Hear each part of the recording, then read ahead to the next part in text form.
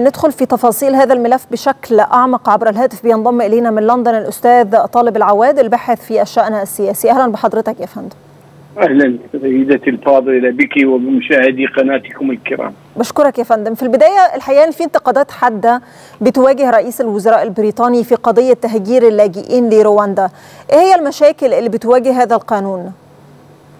تحياتي سيدتي هذا القانون فعلا مرر بأكثرية والسبب هي الأكثرية التي يحملها حزب المحافظين. لكن هناك ردود فعل جدا جدا كبيرة وخاصة لدى حزب العمال ولدى يعني الأحزاب الأخرى هذا القانون قانون جائر بامتياز يعني يخالف الأنظمة الدولية التي وقعت عليها بريطانيا وخاصة بريطانيا وقعت على قانون اللاجئين قانون 1951 الذي يعني يجبر الدول أو التي موقعه على هذا القانون أنه تلتزم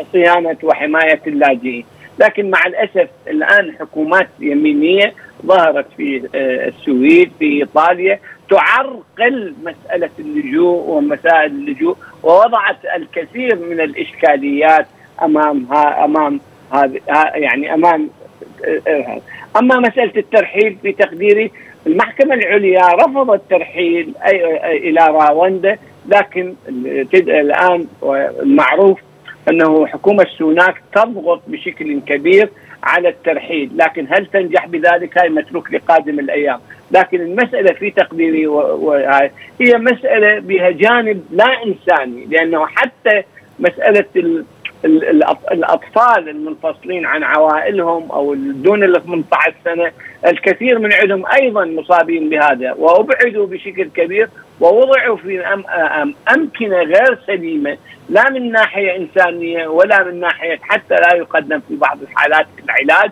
إلا من بعض المنظمات اللا حكوميه يقدم بعض الإمكانيات العلاج مسائل أخرى، لكن في التقدير العام هناك يعني مشكلة جدا جدا كبيرة، والمناسبة بريطانيا تحتاج إلى عمالة وخاصة العمالة الغير يعني ما نقول عليها مثقفه الغير عملية، تحتاج بريطانيا. لا زالت هناك أزمة عمالة في قطاع الفنادق هناك أزمة عمالة في قطاع المطاعم التنظيفات. يعني هذه المسألة تشكل هؤلاء عمالة بسيطة ممكن الاستفادة من عدة لكن مع الأسف الجناح, اليميني أو الفكر اليميني الذي بدأ يغزو أوروبا مما جعل أنه هذا يعني يتخذون موقف حاد أزاء اللاجئين نعم. طيب أستاذ طالب يعني البعض يتساءل لماذا هذا التشدد الكبير من ريتشي سوناك تجاه المهاجرين خاصة أن هو أصوله هندية يعني من المفترض البعض يقول أنه يكون أكثر تعاطفا مع المهاجرين. بالمناسبة وزيرة الداخلية السابقة التي يعني خرجت من من الكابينة الوزارية أيضا لاجئة ورئيس الوزراء أيضا لاجئ.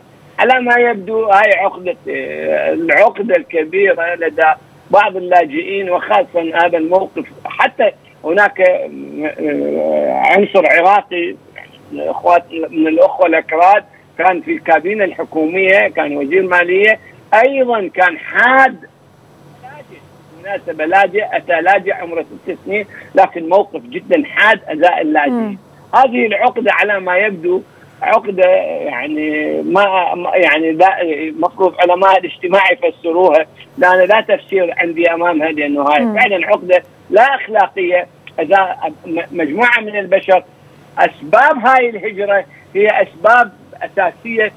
هاي الشعوب التي تهاجر هي أسباب لأنه أسباب من عده والجزء الأهم هو الاستعمار المهيمن على المناطق في أفريقيا، الجهل المترتب في أفريقيا، الجوع المترتب من الناحية الاقتصادية في أفريقيا التي تكون من من خلال الاستعمار بعض الدول، يعني نرى أنه دول يعني كثير من الدول الأفريقية المنتجة المنتجة بشكل كبير لسلع ومنتجات جدا جدا مهمة وذات اقتصاديات جدا مرعبه يعني مرعبة.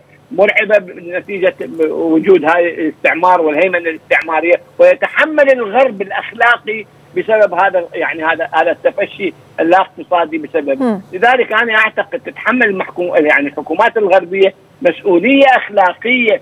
اداء أما أما إعادة هؤلاء إعادة تكوينهم من جديد إعادة الاقتصاد عجلة الاقتصاد في هذه البلدان بما يلائم في تطوير البنى التحتية للبشر هناك. لكن نعم. مع الأسف الشديد لا زال الضغط الاقتصادي المهيمن لذلك هاي الهجرة اكثرها هجره اقتصاديه بالدليل هجرة اقتصادية وهي الهجرة الاقتصادية نتيجة الوضع المأساوي التي تمر به الشعوب شعوب وخاصة آه ساوث آه يعني المناطق الجنوبية من أفريقيا. نعم. أنا أعتقد ويعتقد كل المراقبين أنه المطلوب وبشكل جذري الحماية والسلامة لهؤلاء بإيجاد أماكن يتمتعوا بها بالاحترام الكامل لأن حقوق الإنسان وكرامتهم بغض النظر عن وضعهم القانوني أو الطريقة كيفية وصولهم أو التمييز اخر. صحيح. يعني كما كما تفضلت بالذكر أستاذ طالب الحقيقة إنه تنفيذ هذا القرار من عدمه متروك للأيام القادمة وسنتابع معك بالتأكيد على مدار الأيام القادمة